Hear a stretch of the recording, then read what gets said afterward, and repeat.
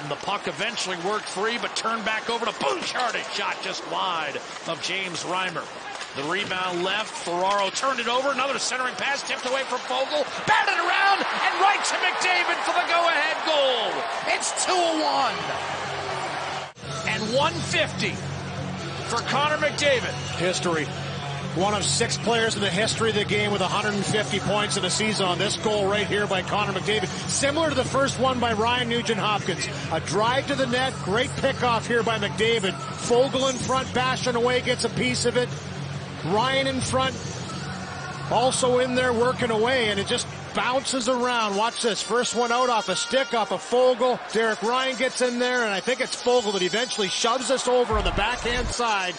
And for Connor McDavid, he's an elite company. He's certainly had his chances, and that was another good look. Yeah, sniffing around the net. Five and a half to go. Breaking down the middle. McDavid breakaway. Scores! Second of the afternoon. Yeah, no chance on that one inside the zone. And